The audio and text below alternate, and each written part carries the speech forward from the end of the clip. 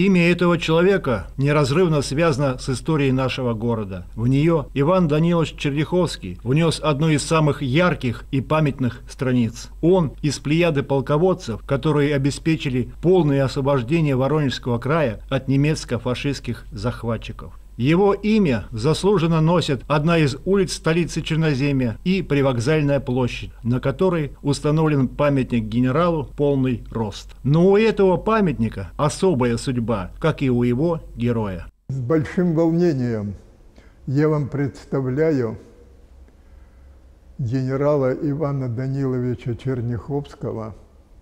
Сюда он пришел командующим 18-м танковым корпусом сменил генерала Антонюка и стал командующим 60-й армией.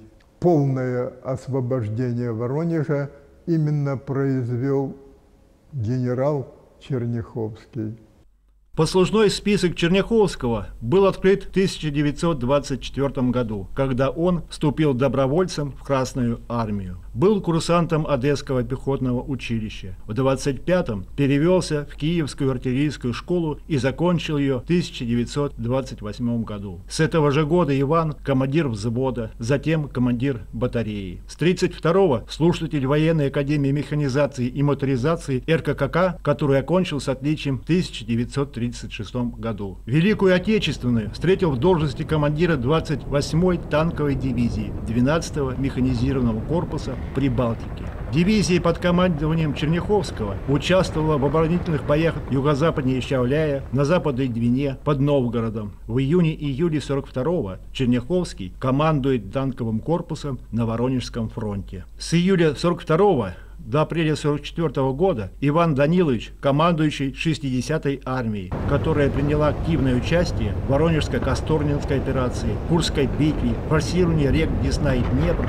Киевской, Житомирской, Бердичевской, Ровно-Луцкой и других операциях. Но... Звезда его как полководца взошла именно на Воронежской земле. В 35 лет командующий армией, освободивший город, а затем на 1938 году жизни ставший командующим фронтом, представленный к 23 февраля 1945 года к званию маршала Советского Союза, вы сами понимаете. О том, что Черняховский был вполне достоин высокого полководческого звания, говорят и воспоминания его маститых боевых соратников. Маршал Рокоссовский писал о нем так. Знакомясь с войсками 60-й армии, переданной нам из Воронежского фронта, я внимательно приглядывался к генералу Черняховскому. Это был замечательный командующий, молодой, культурный, жизнерадостный, изумительный человек. Было видно, что в армии его очень любят. Это сразу бросается в глаза. Если к командарму подходят докладывать не с дрожью в голосе, а с улыбкой, то понимаешь, что он достиг многого. Командиры всех рангов остро чувствуют отношение старшего начальника. И, наверное, мечта каждого из нас поставить себя так, чтобы люди с радостью выполняли все твои распоряжения. Вот этого Черняховский достиг.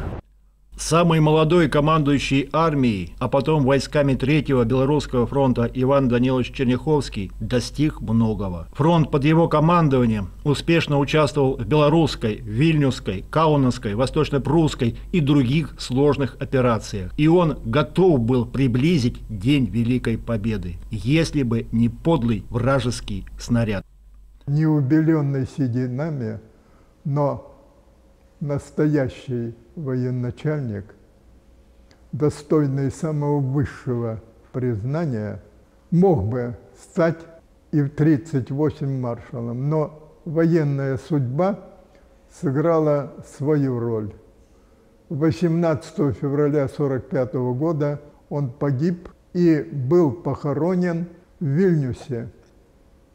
После гибели Черняховского на должность командующей Третьим Белорусским фронтом был назначен маршал Василевский. Об Иване Даниловиче он писал так. Хорошее знание войск, многообразной и сложной боевой техники, Умелое использование опыта других, глубокие теоретические знания позволяли Черняховскому отлично управлять войсками, входившими в состав его фронта, решать сложнейшие задачи, которые ставило перед ним Верховное Главнокомандование. Солдаты, офицеры и генералы любили своего командующего, прежде всего за человечность и заботу о них, за отвагу и бесстрашие, за твердость и настойчивость при проведении в жизнь решений, за прямоту и простоту в обращении, за гуманность, за требовательность к себе и подчиненным. Да, он был строг и требователен, но никогда не позволял себя унижать достоинство человека. В 1950 году в Вильнюсе был открыт памятник генералу Черняховскому. Его авторами были скульптор Томский и архитектор Голубовский. Бронзовая фигура полководца была установлена на прямоугольном постаменте, на передней стороне которого была надпись «По-литовски Черняховскому от литовского народа».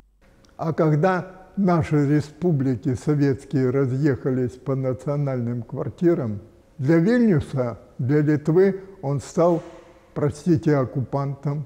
И, конечно, воронежцы не смогли оставить этот случай на волю судьбы. Мэр города послал начальника управления культуры города Воронежа Ивана Чухнова в Литву. Там был решен вопрос о перезахоронении Ивана Даниловича, а памятник его в полный рост был перевезен в Воронеж, и он в настоящее время украшает нашу привокзальную площадь, носящую его имя. И теперь, стоя на площади своего имени, дважды герой Советского Союза, генерал армии Черняховский провожает и встречает поезда, приходящие в столицу Черноземья. В нашем городе он обрел новую родину. В заключение мы приведем строки воспоминаний еще одного боевого офицера, капитана Церлевской, о своем командующем. Генерал Черняховский был требователен и к солдатам, и к себе. В бою он любил строгую дисциплину. Всегда он был подтянут. Даже во внешнем его образе была видна дисциплинированность. Своим видом генерал Черняховский – это красивый русский богатырь, в котором чувствовалась не только физическая сила, но и большая волевая сила полководца. Таким красивым русским богатырем в бронзе для наших земляков Иван Данилович остается и поныне. Только надпись на гранях постамента памятника не на литовском, а на русском. Генералу армии Черняховскому от воронежцев. 29 июня 2016 года Ивану Даниловичу Черняховскому исполнилось 110 лет. Вечная память нашему герою.